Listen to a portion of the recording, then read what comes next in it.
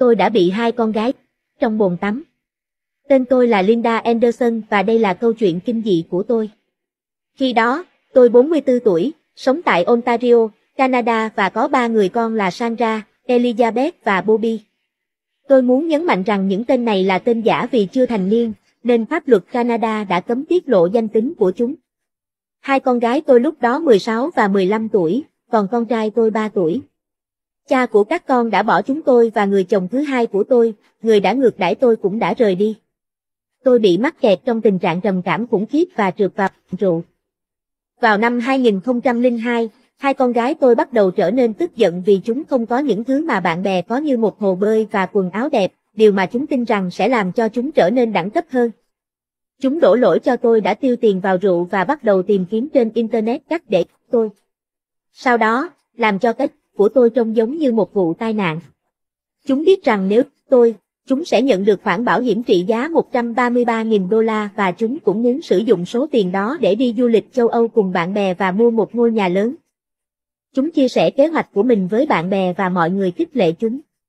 Vào ngày 18 tháng 1 năm 2003, hai con gái tôi cho tôi uống rượu để làm tôi say và thuốc để làm chậm nhịp tim của tôi.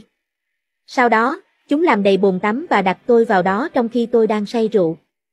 Sandra yêu cầu tôi nằm ngửa để nó massage và ngay lập tức nó đã đẩy đầu tôi xuống dưới nước trong suốt 4 phút đáng sợ và đau đớn, tôi đã ngưng thở không lâu sau đó. Tiếp theo, Sandra và Elizabeth đã đi đến một nhà hàng để ăn mừng hành động của chúng. Vào lúc 10 giờ 30 phút tối, chúng trở về nhà và gọi cấp cứu. Nguyên nhân cách của tôi được xác định là đuối nước kèm theo ngộ độc rượu. Cả hai con gái của tôi đã sống với một người dì và mỗi người nhận được 133.000 đô la. Con trai tôi sống với một gia đình khác và nhận được 67.000 đô la. 11 tháng sau vụ việc, Sandra và Elizabeth tâm sự với một người bạn nam về hành động của họ và anh ta ngay lập tức báo cảnh sát. Cảnh sát cung cấp cho anh ta các công cụ cần thiết để ghi lại chi tiết vụ án theo lời kể của hai con gái tôi. Trong vòng một tháng, máy tính của chúng cũng bị tịch thu, tiết lộ kế hoạch đen tối của chúng. Được đặt tên là chị em Anderson. Sandra và Elizabeth đã bị kết án vào năm 2006 và nhận án tù tối đa 10 năm mỗi người về tội người có chủ định.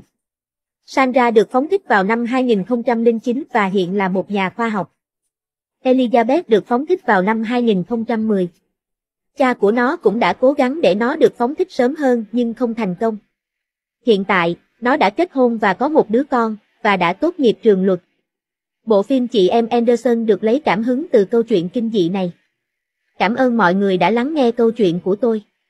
Hãy nhấn theo dõi tôi để xem và nhận thêm nhiều câu chuyện khác nhé.